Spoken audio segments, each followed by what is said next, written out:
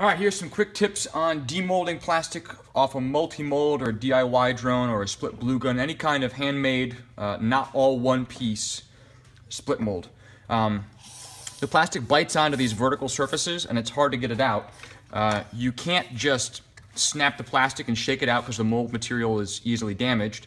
Uh, I like to make some bandsaw cuts into the perimeter to relieve the tension on those faces and allow the plastic to flex.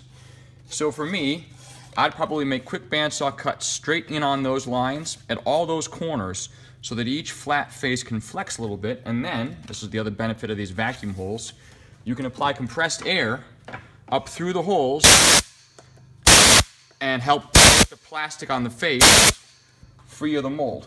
So I'm gonna take this over to the bandsaw, I'll cut it and bring it back and then show you.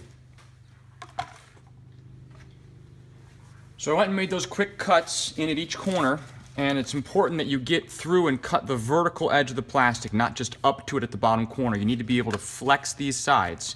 And as you can see, I can now flex that side away from the wall of the mold up here too. So I use, just laying some foam down here so I don't drop it on the SwiftPress deck. Um, you can basically just work your way around the mold and you can hear it coming free.